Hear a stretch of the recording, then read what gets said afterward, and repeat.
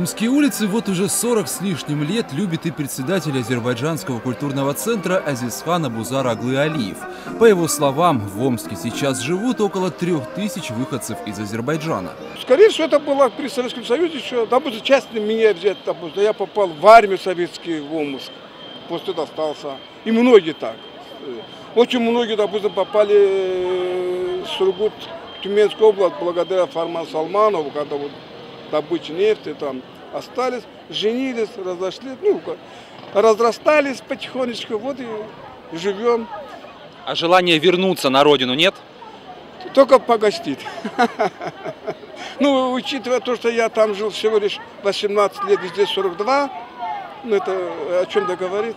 Конечно, конечно, конечно, всегда хочется на родину вернуться. Это кто это? это? Мы всегда душой там, как говорится. Ну, Омск для меня, конечно, вторая родина. Латыши из Старского района заметно выделяются в колонии разных народов, сдержанными эмоциями и костюмами. Цвета их нарядов – природных оттенков, никаких блесток и ярких элементов.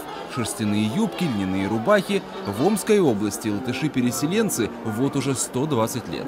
Наши предки в 1897 году по Столыпинской реформе приехали из Латвии за землей, когда Столыпин делил землю, они приехали в Сибирь и поселились с тех времен, и наши деревни там образованы.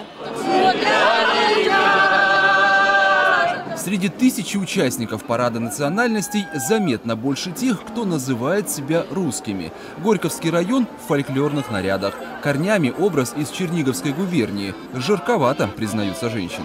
Наши переселенцы приехали из Черниговской области. И у нас э, наш э, участник Точка ездил в Черниговскую область и там собирал вот эти элементы фольклорного костюма. Оттуда вот они, все это произошло.